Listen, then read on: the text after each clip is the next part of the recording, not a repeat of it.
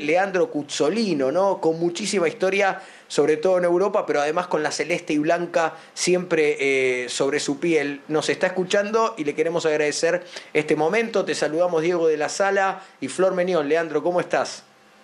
Bueno, buenas tardes a todos. Gracias por, por la invitación. Buenas tardes para todos. Eh, en este momento, Leandro, ¿dónde te encontramos? ¿Estás allí en, España? ¿Dónde te tomó, digamos, eh, la pandemia, eh, este COVID-19 maldito para todos, pero uno tiene la sensación que para los españoles todavía mucho más que para nosotros, digo nosotros los argentinos? Sí, sí, estoy, estoy en España, estoy en Valencia. nada, sí, como, como dijiste vos, creo que acá estaba está un poquitito más complicado de, lo que es Argentina hoy, pero bueno, yo creo que de, a poco también España está saliendo de, esta gran de esta gran pandemia que a todos nos está afectando, ¿no? Eh, ¿Y cómo, ha sido el proceso, más allá de justamente lo social tan preocupante, cómo ha sido el proceso de, entrenamiento? ¿no? Lo que le preguntamos a cada uno de los deportistas que, podemos entrevistar afortunadamente. Digo, ¿cómo ha sido tu día a día? ¿Cómo, es eh, el entrenamiento del futbolista, digamos, de futsal? ¿Es un, entrenamiento de, futbolista convencional? ¿Hay otras cosas que atender? ¿Otros músculos que elaborar más que los que elaboran los futbolistas profesionales de 11, digamos?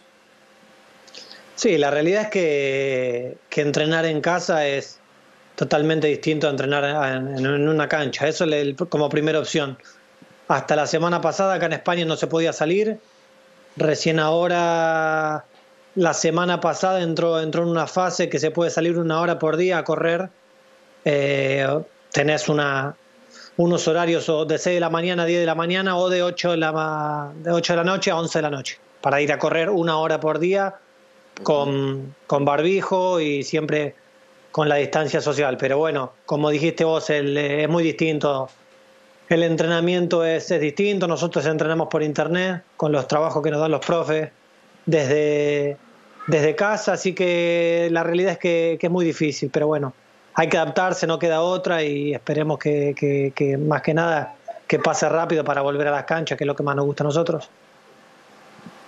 Eh, Leandro, te está escuchando Flor Menión, que tiene varias preguntas, obviamente, para, hacerte. Hay muchos televidentes que están ávidos de, poder eh, conocer más de tu historia y ver de qué va esto que se está proyectando con el, con el futsal. Flor, te escucha ya, Leandro. Leandro, ¿cómo estás? ¿Qué tal, Flor? Muy buenas tardes.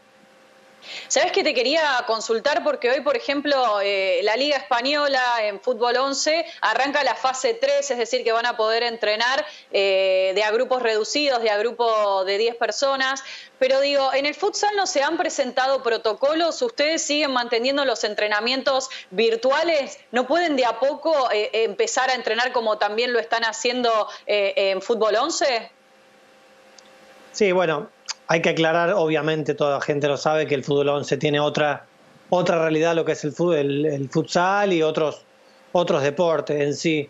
Eh, eso también creo que va por zonas. Recién eh, ayer Valencia entró en fase 1, o sea que para llegar a la fase 3 todavía hay muchísimo por delante.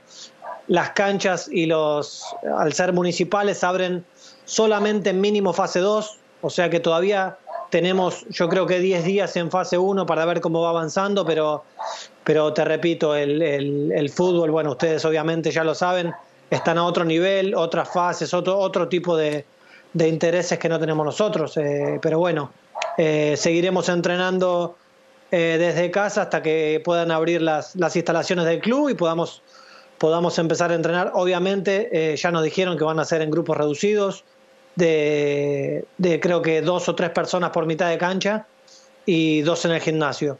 Así que van a ser grupos eh, en horarios distintos y tratar de por lo menos, eh, más que nada, tener un poco de contacto con la pelota, que es lo que más, que es lo que más extrañamos, porque al final correr, podemos correr, pero tocar la pelota eh, se hace un poquito más difícil en casa. Bueno, de a poco por lo menos ya se van planificando fechas para que vuelvan a estos entrenamientos. Así todo van a ser reducidos pero es como vos decís, ¿no? Como nos vienen diciendo también muchos deportistas más del palo del fútbol, del futsal, que lo que necesitan es pegarle una pelota, pero no pegarle una pelota frente a la pared, pegarle una pelota y que vaya metros y metros. Vos has hecho eh, casi toda tu carrera en Europa, estuviste en Italia, bueno, ahora estás eh, en España, una de las ligas más competitivas, de hecho, de, futsal. ¿Ves mucha diferencia con la de Argentina? Sí, sí, sí, la realidad es que la, la, la diferencia es abismal en, estructura, obviamente. Acá tenés todas canchas de, 40 por 20 con todos los partidos eh, de 2.000, 3.000 personas mínimo. Eh, tenés, bueno, eh, rueda de prensa, todo lo que es profesional en, y también en el hecho de cuerpo técnico, estructura, como te dije antes. Vos calculás que, que nuestro cuerpo técnico son entre 8 y 11 personas solo de cuerpo técnico y hoy por hoy la realidad es que en Argentina es, es, muy difícil eso. Obviamente no le podemos pedir a la Liga Argentina que de un día para otro crezca de, una manera radical, pero bueno, yo creo que el camino que está, que está, tomando la Liga Argentina es bueno, hay que seguir por este camino y, de a poco vamos a, a, poder sacar la Liga Argentina, que la verdad que tiene mucho potencial y, y mucho, mucho para dar todavía. Tan buena ha sido tu carrera que, bueno, sos jugador de la selección argentina de, futsal. ¿Lo que más se va a extrañar va a ser el Mundial de Lituania? Sí, sí, sí, obviamente, sí. Después de las eliminatorias, ahora que ganamos en, en Brasil, teníamos, teníamos muchísimas ganas de, que llegara el momento de, competir un mundial de nuevo, pero bueno, no, no podemos, no es por culpa nuestra y hay que entenderlo todo. Primero está la salud de todas las personas y después viene la parte deportiva. Obviamente sí amargado porque teníamos muchísimas ganas de, defender ese, ese título que tanto, que tanto guardamos en el corazón. Digo, eh, eh, esto, uy, perdón, ah.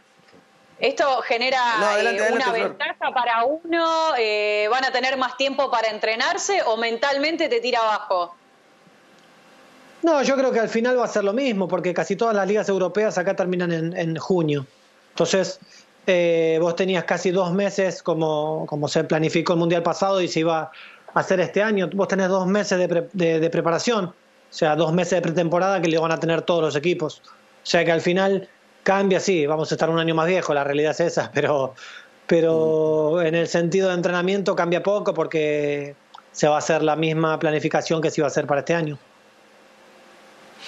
Eh, Leandro, te, iba a preguntar em, lo que tiene que ver con, el, futsal en sí, después del fenómeno explosivo de, aquel mundial y, todo. Eh, ¿Quién no ha ido a jugar al fútbol con los amigos en lo que es el Babi o el Papi Fútbol ya más grandes? Esto obviamente es otra cosa. Recién hablábamos con Santiago Gómez Cora con eh, alguien que tiene mucha historia en el rugby de 7, digamos, el, famoso Seven, hoy entrenador, y le preguntábamos por diferencias con el rugby 15. Eh, ¿Cómo explicarías las dos o tres diferencias básicas entre el, futsal y el fútbol profesional de, de 11? Yo de afuera, y quizá prejuiciosamente, yo lo que veo es que el que no piensa no puede jugar al futsal. Y la gente dice que son iguales, pero para mí con la experiencia que tuve hasta ahora son dos, son dos fútbol totalmente distintos. Este es un fútbol muy rápido que tenés que estar atento, eh, los 40 minutos de partido tenés que estar metido porque en, un segundo, un milésimo de segundo puede cambiar radicalmente el partido. El ejemplo que yo le doy a los más chiquititos es que primero empiecen jugando futsal y después el día de mañana elijan de jugar cancha 11, que prueben que, el día de mañana, cuando si prefieren jugar cancha de 11, se les va a hacer muchísimo más fácil. Esa es la realidad. Hoy, hoy está escrito que los mejores jugadores del mundo, eh, sacando, bueno, sacando a Messi, obviamente, que, no, es, no es humano, estamos hablando de las personas humanas, eh, jugaron futsal de chiquitito y, la realidad es esa. Entonces, eh, si yo tengo que dar un consejo a los más chicos, bueno, empiecen jugando futsal que el día de mañana, si van a jugar cancha 11, se le va a hacer muchísimo más fácil. Y después, el ejemplo que le doy, que por ahí en, cinco minutos en un partido de cancha 11, la pelota la puedes tocar dos, tres veces. En cinco minutos, un partido de futsal, las puede tocar cien veces. Ese es el, ejemplo más, más táctico y más, más, más lindo que le puedo dar a un, chico que le gusta tener la pelota. Y vos, lo estás diciendo desde el lado virtuoso, desde, el lado, entre comillas, bien intencionado. Nosotros que hemos jugado al fútbol eh, a los ponchazos, cancha de once, cancha eh, de, de, babi o de, o de futsal, lo que siempre decíamos entre ahogos es, en el fútbol de once vos un rato, por lo menos jugando con amigos, te podés esconder, entre comillas, para cambiar el aire. En el futsal no da la sensación de que uno se pueda, entre comillas, esconderse, ¿no? No, no, es imposible porque al ser 4 contra 4 en una mitad de cancha, vos estás siempre metido en el partido, no hay, no hay, no hay espacio para esconderte, como decís vos, no hay, no hay lugares para, para, o para caminar o para decir, bueno, eh, hay mucha gente que se piensa que, que, corre menos jugando futsal que en cancha 11, pero aparentemente no, porque tenés que, la intensidad que le pones al, al partido no, no puedes descansar un segundo, sino obviamente dejas 4 para 3 a tus compañeros, más que nada. Eh, Leandro, eh, bien, queríamos saber cómo estabas. Sos un, jugador icónico, obviamente, de todo, de todo el proceso del futsal y de todo ese fenómeno explosivo con la selección en una liga tan importante, además, como la española, eh, antes en Italia. Pues bien, que el Mundial que iba a ser en Lituania en septiembre y que se, ha pospuesto, los encuentra igualmente en, buena forma y, esperemos que prontamente ya empecemos a ver y hablar de, que esto se ha normalizado eh, por lo menos un poco. Te mandamos un abrazo grande, que, sigas bien allí en España y estamos en contacto. Bueno, gracias a usted, gracias de nuevo por la invitación y por darle por darle bola a la actividad, que la verdad que, se lo merece porque es una actividad maravillosa. Así que bueno, un saludo a todos. Esperemos que esto pase rápido para volver a, la vida normal del, del fútbol, que es lo que más nos gusta a nosotros.